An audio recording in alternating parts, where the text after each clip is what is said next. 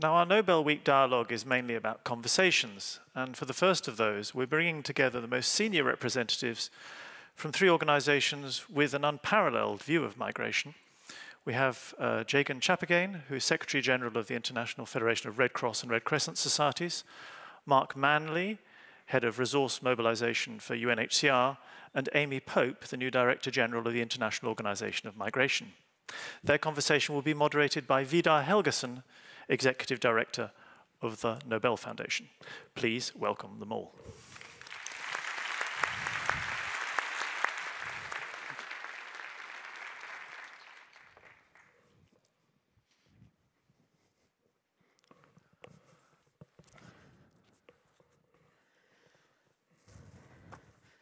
So, we've just heard that migration is our history. Migration is in our genome. And still, today's discussion about migration in most countries, including this country, is that we need to stop it. Now the question is, if, is that possible? A couple of reflections. If you, if you ask a Swedish industrialist today, what is the major obstacle for your continued growth and expansion of your business? The number one response and we have data on this, is lack of skilled labor. We need more people. Couple that with the demographics of Europe. We do know that uh, over the next two or three decades, Europe's workforce will decline significantly. So there's already a need for people. There will be a need for more people to cater for more old people and the discussion today is about stopping migration. Amy Pope, heading the UN's migration agency, are we having the right discussion about migration today? Absolutely not. And first of all, I have to say, please don't stop migration. As my own great grandmother came from an area not too far from here, Östergötland, south of Stockholm, in the 1890s. And because she and her family were extremely poor, and there were no options here. That's what we're seeing around the world today, right? We see uh, pressures on communities that are already vulnerable, whether it's conflict, whether it's growing economic inequality, or whether it's climate change, which are putting um, displacement pressures on communities that just don't have the resilience to manage.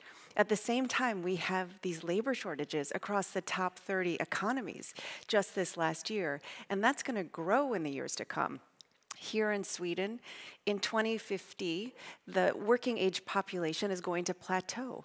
And so migration is going to be necessary in order to respond to the pressures both across the global south, but also here across Europe, North America, and parts of Asia.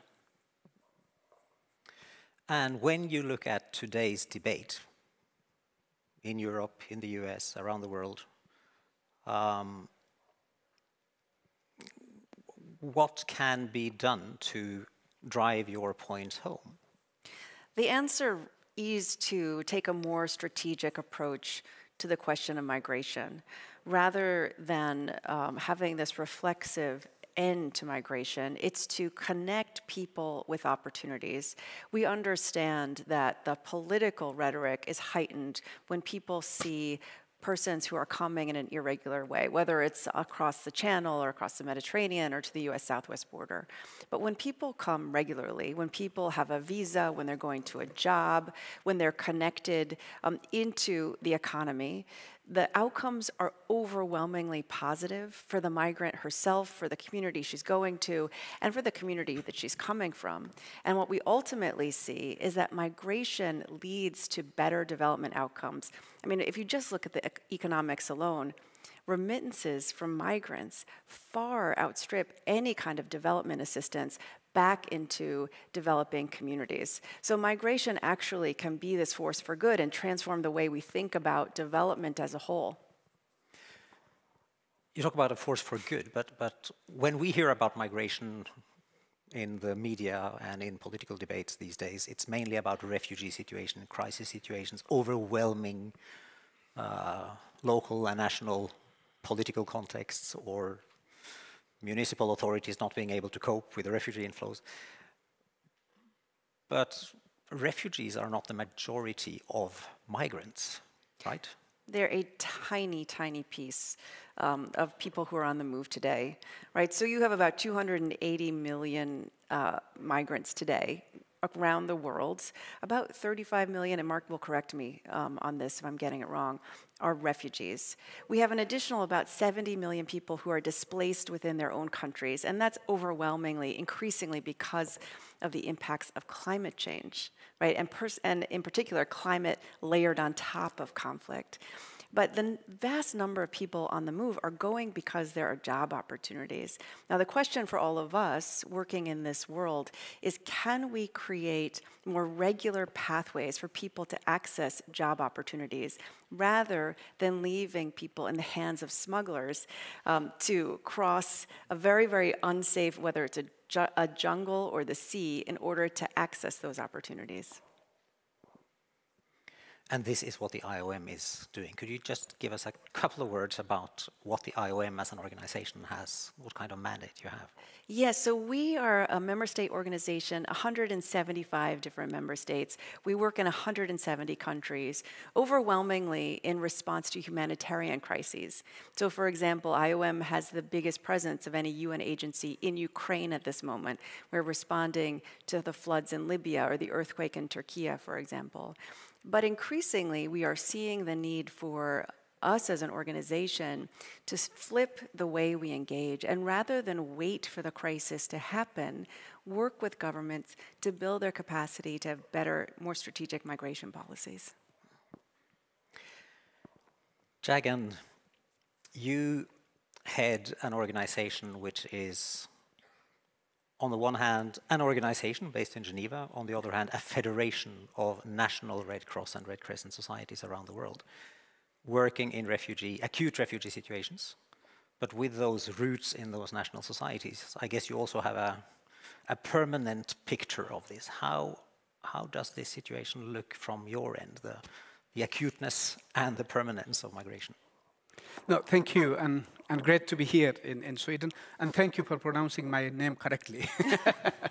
That's always a challenge. Uh, uh, you know, from the perspective of the, the, Red Cross, Red Crescent, as you said, of course, being present in almost every country in the, in the world, uh, what we see, the migration, or in general terms, the movement of the people, is a very dynamic phenomenon. Sometimes when you uh, live in Europe, I'm living in Geneva now since 2015, it's seen as people trying to come to Europe. That's the sort of the, the very, very monodimensional approach of looking at it. It's much more dynamic than that. Actually, I spent uh, time last year in Latin Central America actually tracking the route of migrants heading to the US and Canada, and this year I did the same in Africa.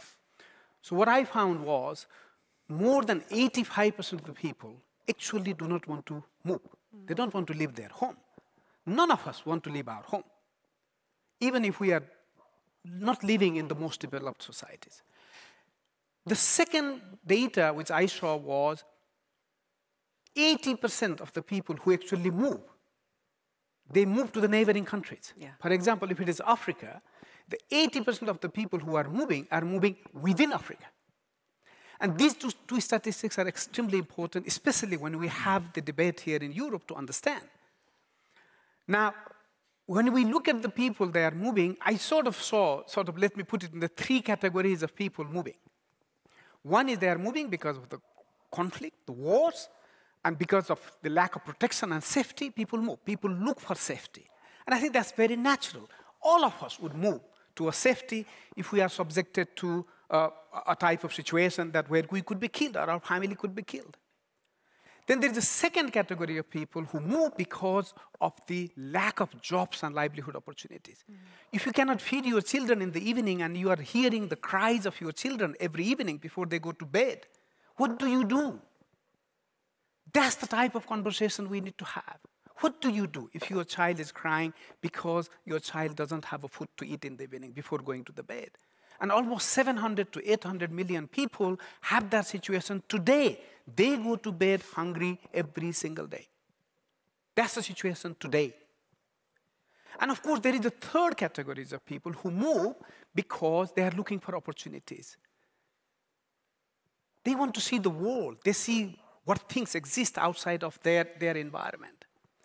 And if you look at the history, and I think you were listening to the colleagues earlier, there's a saying that butterflies have always had wings and people have always had legs. When you have legs, you move. And that's what has happened. And Amy, you told your story. Yeah. And each of us, if we look deeper, this has always happened. So we need to really understand the migration as a very dynamic phenomenon, and it's very human. And we need to see it as a human issue rather than a legal or political or a criminal issue. The movement of people should not be criminal, criminalized, and that's what is happening. And I'm very glad to take part in this conversation today. You mentioned the very important word human. I mean, dehumanization of groups, of uh, people, uh, is normal for uh, political gains in, in many countries. Uh, and when you say that most refugees or people that migrate for, for various reasons are actually moving to their neighboring countries that are much more fragile societies often than our societies up here, uh, in your experience, uh, take the perspective of a local or a national Red Cross or Red Crescent society. How are those communities coping with that influx of uh, massive amounts of uh, neighbors? And I think this would be uh, this is a very important uh, point of discussion. If you look at Lebanon, a small country going through their own political and economic economic uh, instability, they are hosting millions of people. I think the uh, probably the people they are hosting is almost more than the, the, the, original population. I was just in Egypt. 10 million migrants or refugees are living in Egypt. That's almost 10% of their population. Turkey was hosting a few million, uh, I think close to 3 million people. And I was, I was in Africa, country of Gambia, you know. It's economically, it's, it's part of that LDCs, the least developing countries. And it is hosting people. Of course, the country like Gambia is a country of origin, country of uh, transit, and country of destination. Neighboring countries have moved there. And this is, I think, important lessons to be learned here, particularly in Europe or, or, the, or the North America, that when the societies see the movement of the people as a human issue, and it's the, it's the people looking for opportunities or looking for safety, and I think that's when we have that type of conversation, then you see the positive side of migration, which Amy touched on. Yesterday, I was flying uh, through Frankfurt to come here, and the announcement there was, oh, we are delayed because we have worker shortages. Yeah. From ground handling to pilot to the, the, the crew. But in that environment, when you talk about, but why are we not getting people who are looking for jobs?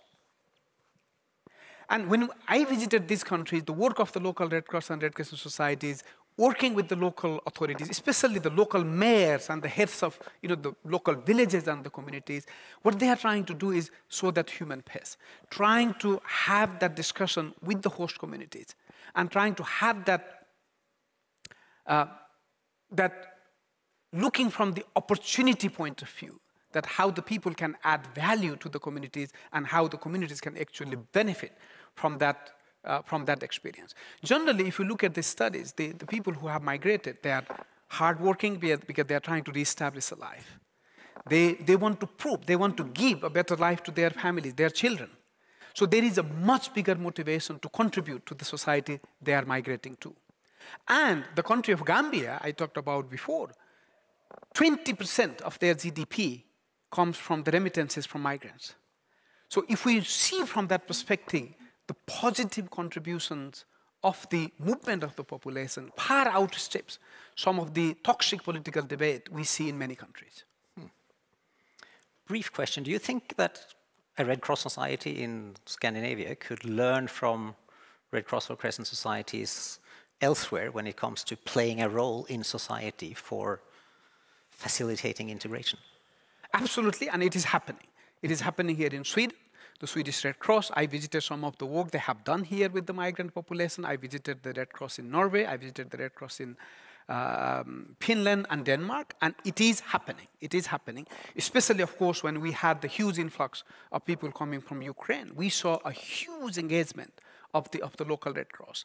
And we really want to sort of have that experience sharing and learning to see that how in different countries the Red Cross can contribute positively in this very, very important topic.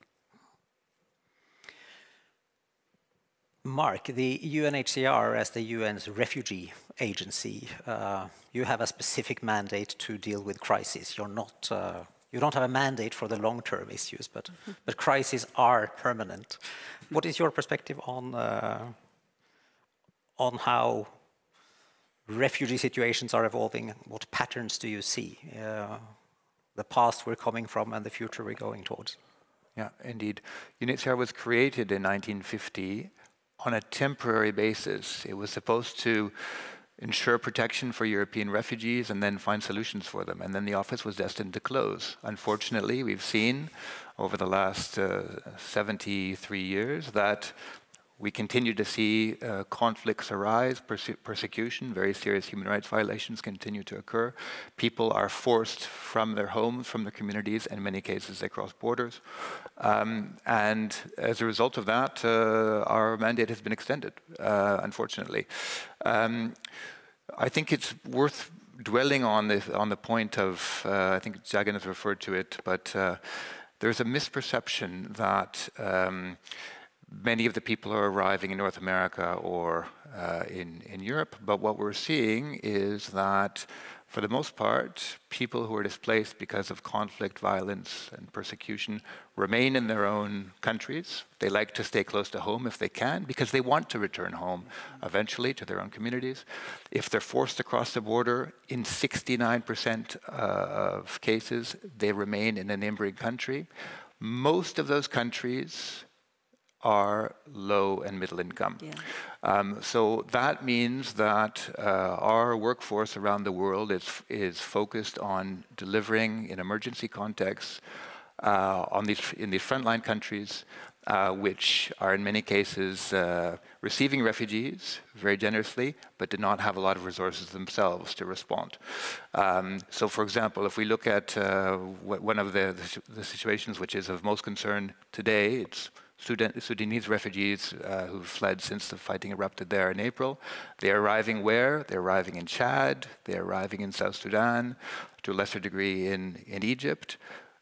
Chad and South Sudan are two of the poorest countries in Africa. So they are delivering a global public good, but they need assistance in, in doing so.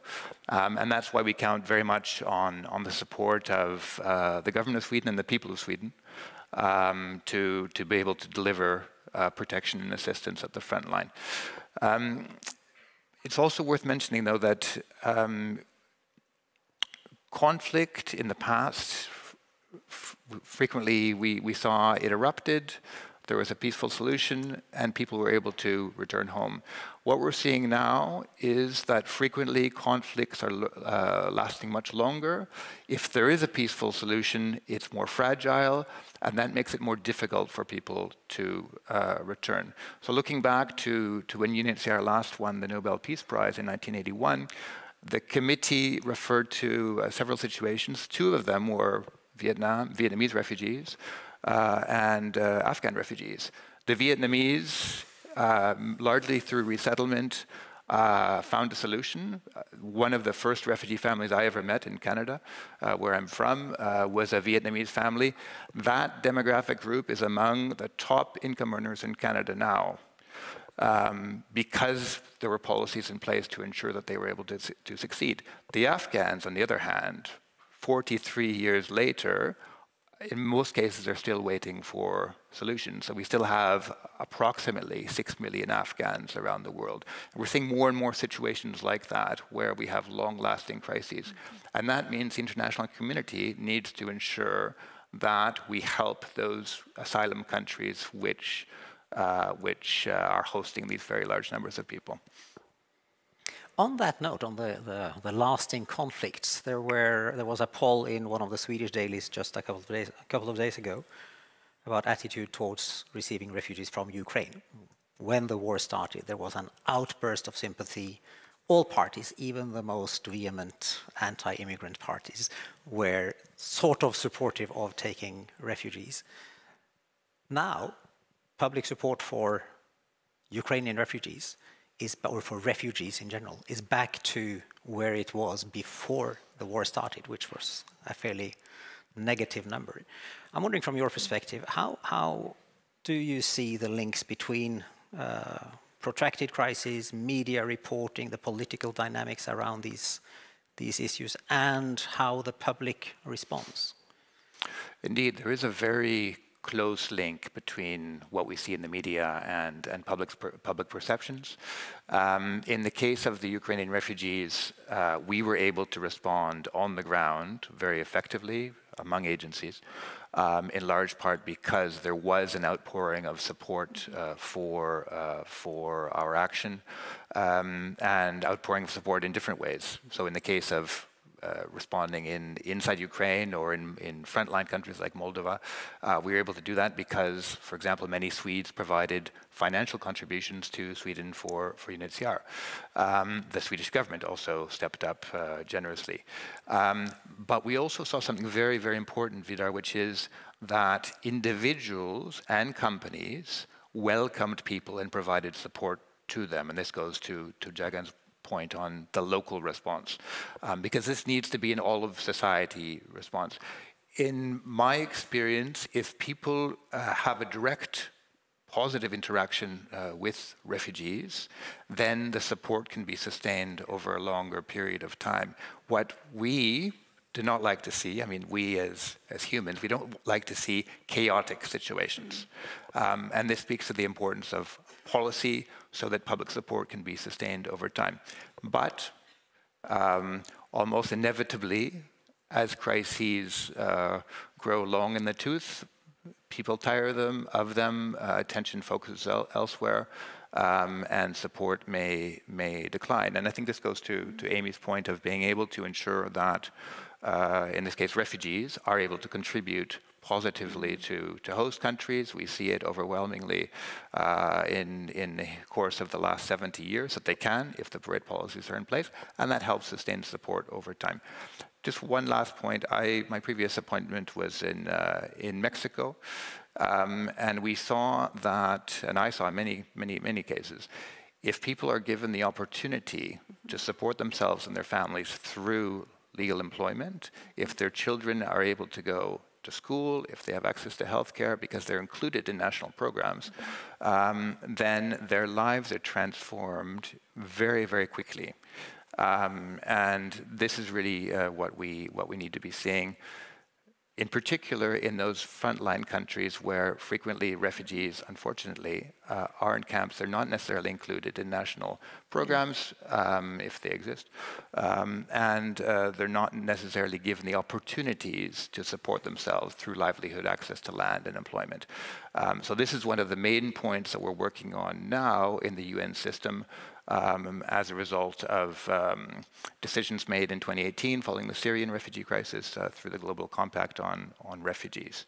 Um, and will be discussed actually the coming week at the Global Refugee Forum in Geneva among governments, international agencies, um, development banks, private sector, uh, and refugees, refugees themselves.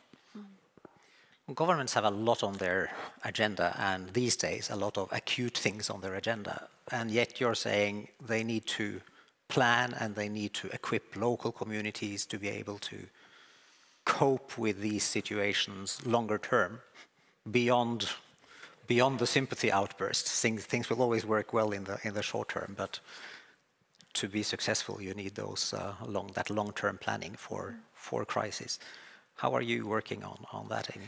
So, in some ways, it's just in terms of what makes sense, right? In terms of financial costs and human cost. So, think in a country like Sweden, um, there's generous development support and generous humanitarian support for communities already around the world. But what hasn't happened as much, and what needs to happen uh, if we want to get this balance right, is to connect that development and humanitarian support to the people who are most in need. So, for example, take a country like Gambia, where we know that there are many people who are migrating irregularly because of lack of opportunity or increasingly because the ability to make a life there is difficult. And that will become more true as a result of climate change, right? Gambia, for example, is extremely vulnerable to future climate shocks. They're almost entirely reliant on something like rainfall agriculture. So if we connect the dots, right, we look at the communities where people are coming from, we look at what is driving them to come, and we put assistance into either building out options to improve their resilience to climate change or to improve their options at home. And when there are no options at home, we look at options for them to migrate with dignity and to migrate regularly.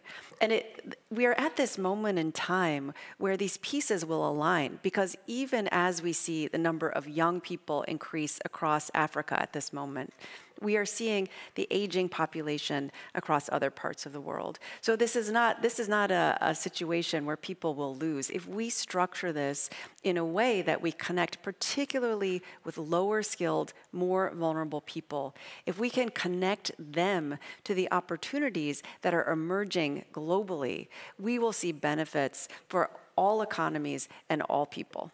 You're saying if we could, but what is the receptiveness of say, European governments for that discussion? So I'm looking for the coalition of the willing, right? So we are really looking at the private sector who overwhelmingly will tell us they do not have a sustainable workforce now or for their future. Um, and, you know, a little fun fact we have been um, advised that, that we will not meet the Paris climate goals if we don't actually have migration as part of the solution, because quite simply today, there's not a workforce to transition to a green economy, right? So we're looking for the coalition of the willing, whether it's the private sector, whether it's small town mayors who are desperate to have a sustainable workforce to care for aging populations, or in some cases it's mayors from country or from cities that have emptied out as populations have shifted within their own country.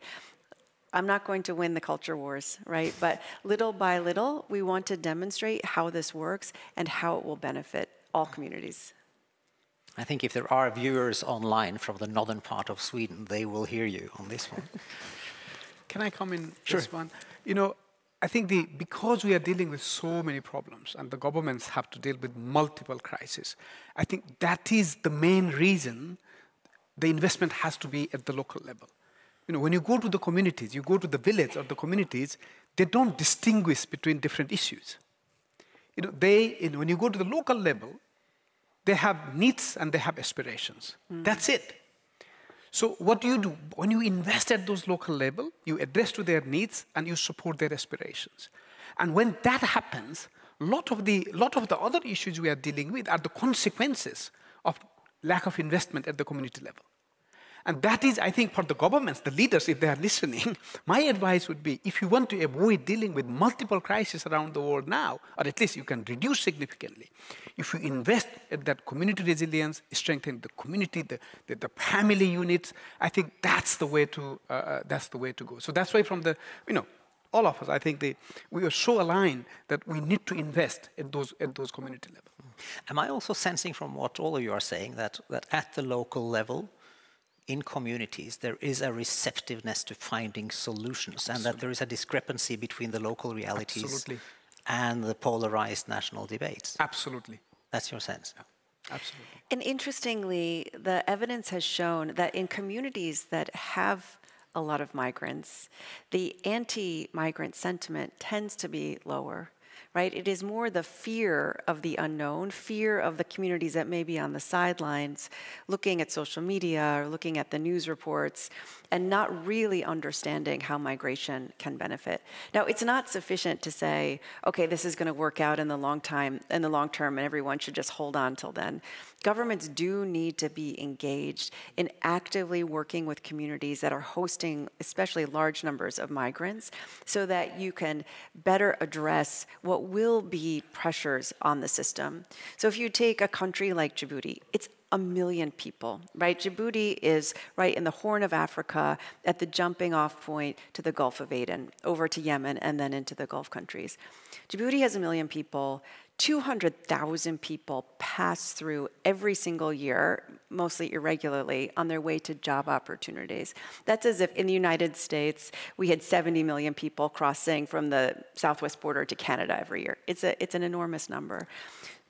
The, the government of Djibouti, the people of Djibouti, have been uh, relatively open to the migration trends, but it's fraying. There's so many coming through that it is fraying, right? That you're seeing the social cohesion be impacted. It's a place where we should be engaging, investing to take the pressure off, whether it's healthcare services or other social services, so that you're not overwhelming the structures, particularly of these countries that don't have high capacity to support the influx. Yeah, on that, I think the, the, our, our vision is clear. If you go to the Global Compact on Refugees, which was adopted following the Syrian refugee crisis, it's very clear that we need to have, we call them area-based approaches. So you have investment, probably by, an, by a development actor, the World Bank, for example, that focuses on a specific area benefiting host communities, but also the refugee population. Or if we're talking about people who have been displaced inside their country, uh, we're, we're focusing on on the on the on the people, the IDPs, internally displaced people, plus the people who are hosting them, and that is really the way forward. Because as humanitarian agencies, we have limited resources. We're not designed to sustain healthcare systems and education over the long term. We're not supposed to be building parallel systems. So what we really need is a comprehensive approach to development in those areas which are most impacted um, by uh, forced uh, displacement. We're coming towards the end. Um, and we started out saying or con confirming that we, we don't have the right debate in many contexts. Now, given your experiences, your insights and experience on the ground, uh, and experience from meeting leaders, what should be the debate and, and what would you want from political and industry and civil society leaders in, uh, in the migration and refugee debate going forward?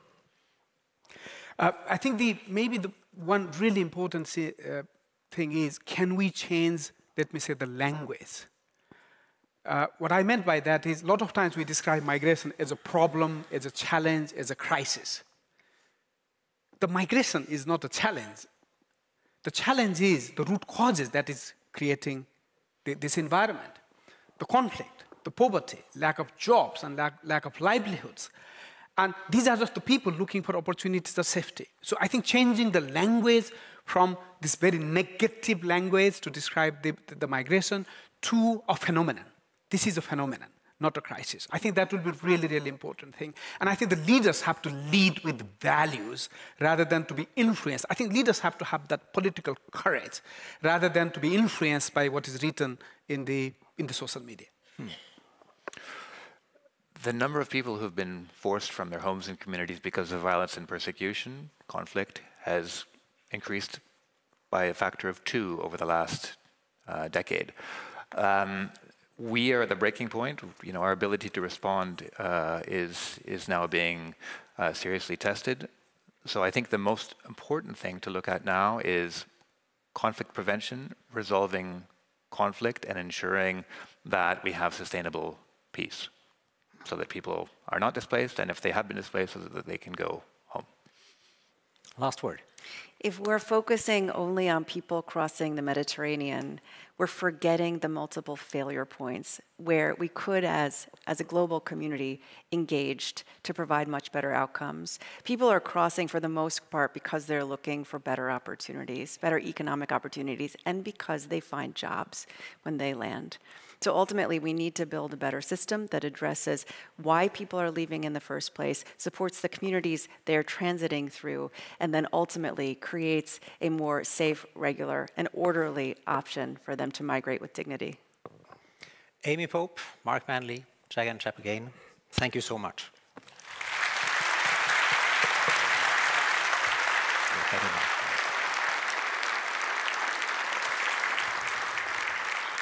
Thank you very much.